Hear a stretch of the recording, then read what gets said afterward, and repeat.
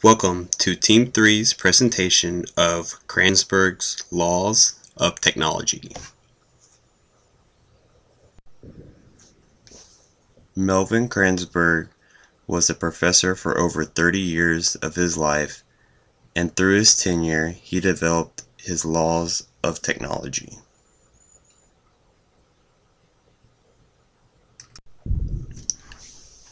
Kranzberg's laws of technology states six different points and those range from generalizations to specific statements that make up his laws of technology. Kranzberg's first law of technology is that technology is neither good nor bad, nor is it neutral. Technology has been responsible for many improvements in society, such as improvements in efficiency, and in communication. Technology has also had many negative impacts on society, such as privacy and piracy risks. Technology cannot be considered to be neutral because there are many reasons why technology can be considered as positive and many reasons why technology can be considered negative. And it is impossible to determine which side is more powerful because there are many different perspectives to the way you can look at this argument.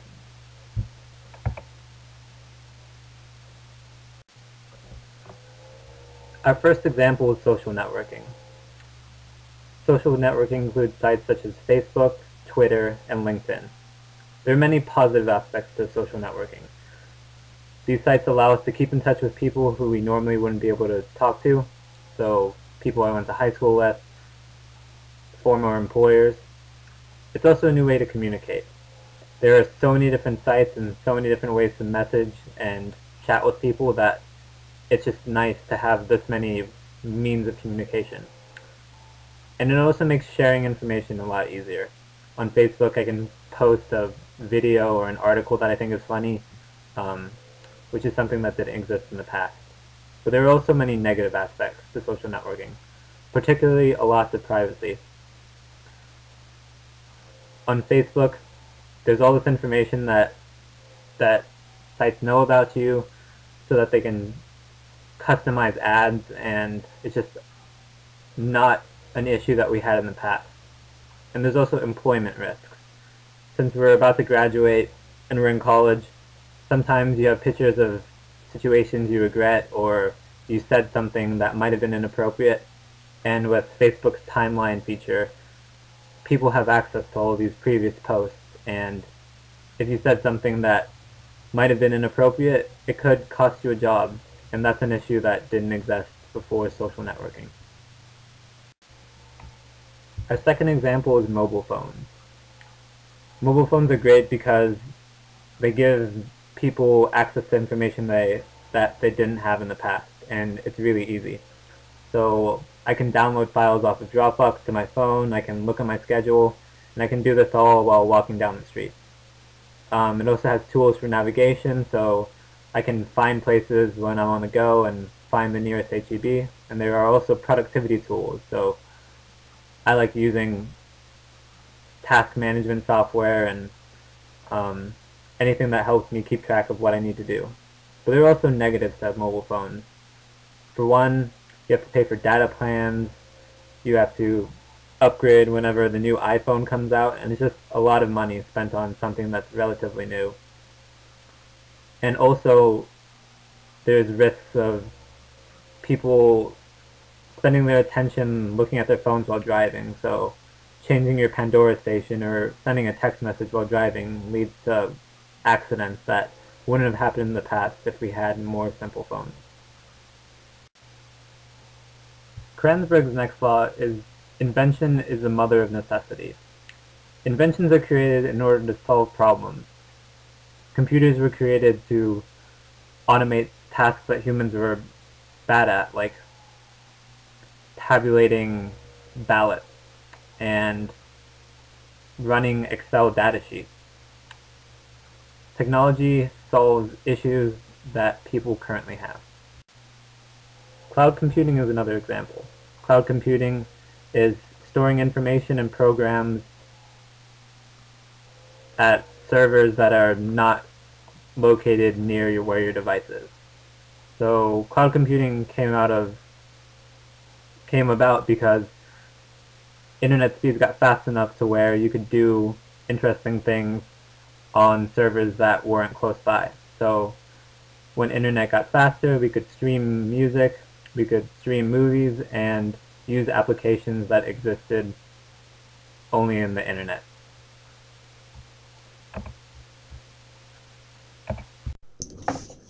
Kranzberg's third law of technology states that technology comes in big and small packages. Two main points of this law is that big and small technologies refer to revolutionary and evolutionary technologies. Another point to be made is that small technologies can refer to subsystems that when put together create a system or a big technology. Revolutionary technologies refer to big technologies that redefine a function of society. The Internet and mobile devices are two primary examples of this law. The Internet has redefined information transfer, communication, and social networking. Mobile devices have redefined the access points of the Internet to society. Evolutionary technologies refer to small technologies that enhance a function of society. Shazam and Evernote are two examples of this law. Shazam has enhanced the identifying and buying process of a song. Evernote has enhanced the note-taking process. Microsoft Office is a great example of subsystems coming together to create a system. Microsoft Word alone could not fill all the needs of a user but Microsoft Office can. My opinion on Kranzberg's third law of technology, which states that technology comes in big and small packages, is that the initial statement is a little broad. But when you redefine big technologies as evolutionary technologies, which change the actual functions of society, and small technologies as evolutionary technologies, which enhance certain functions of society, the theory can make a little more sense and is a little more redefined to me.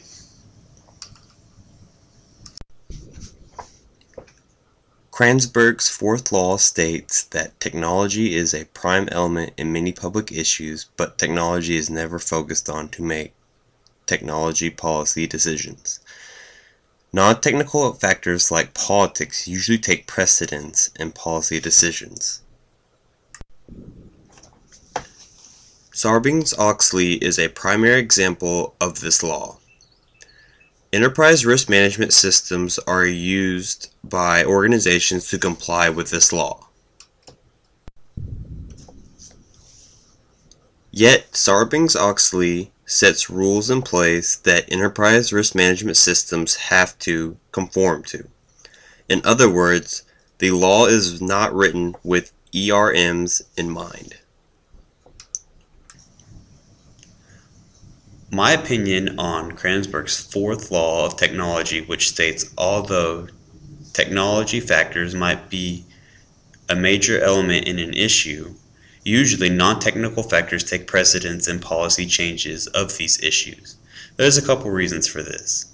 First, I think policy changes defer to something that's more stable like political factors, which rate of change isn't as great as the rate of change of technology.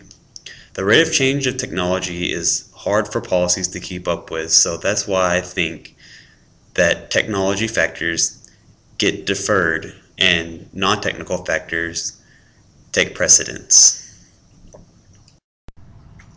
Kranzberg's fifth law states that although history is important, the history of technology is the most important because of the contributions it has made to mankind. Although historians might write highly of the importance of historical understandings by civilized people, many of today's students simply do not see the relevance of history to the present or to their future. This is because most of history as it is currently taught ignores the technological element. In 1875, the telephone was invented. The telephone is an instrument that converts voice and sound signals into electrical impulses for transmission by wire to a different location where another telephone receives the electrical impulses and turns them back into recognizable sounds. Contrary to popular belief, Thomas Edison didn't in invent the light bulb, but rather he improved upon an existing idea. In 1809, an English chemist named Humphry Davy invented the first electric light. In 1878, Sir Joseph Wilson Swan, an English physicist, was the first person to invent a practical and longer lasting light bulb with a carbon fiber filament which lasted for about 13 hours. In 1879, Thomas Edison invented a carbon filament that burned for 40 hours. After many years of preparation, on a cold and windy day in 1903, Orville Wright flew the first powered heavier-than-air airplane, propelling himself and his brother Wilbur into world history. In 1814, the first photographic image with a camera obscura was invented. However, the image required eight hours of light exposure and later faded. 23 years later, in 1837, the practical process of photography was introduced. There are many major milestones in the history of computers, starting with 1936 when Konrad Zuse built the first freely programmable computer. In 1884, Paul Nipkow sent images over wires using a rotating metal disc technology with 18 lines of resolution. Television then evolved along two paths, mechanical based on Nipkow's rotating disc and electronic based on the cathode ray tube. Kirk's fifth law states that all history is relevant, but the history of technology is the most relevant. My opinion is yes, technology is important, but I don't believe it's the most important. I think they're all equally important. For example, we probably wouldn't have the same forms of communication we would have today if, if certain technologies weren't invented. Likewise, I believe we wouldn't have the same rights we have today if certain historical events didn't happen. So that's why I think they're both equal. Kranzberg is trying to make a point that we often believe that technology is independent of any human element, but this is far from the truth. Technology is completely dependent on humans because technology is nothing more than a tool to serve our will. Technology itself is, a, is useless without the human element. Each of the inventions in the previous law exists because of humans. Without their intellect and research and development, we would not have the tools we have today. A few of these are Alexander Graham Bell, Thomas Edison, and the Wright brothers. Kranzberg believes that most of society thinks that technology is completely independent of human um, elements, but this is definitely not true because in order for technology technology to exist, you had to have humans there to create it.